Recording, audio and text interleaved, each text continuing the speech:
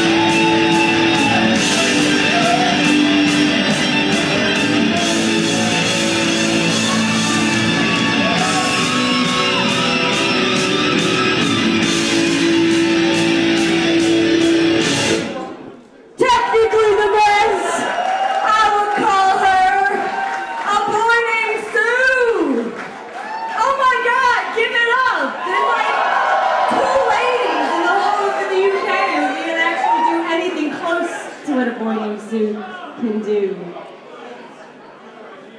I love my ladies. But like seriously, technically the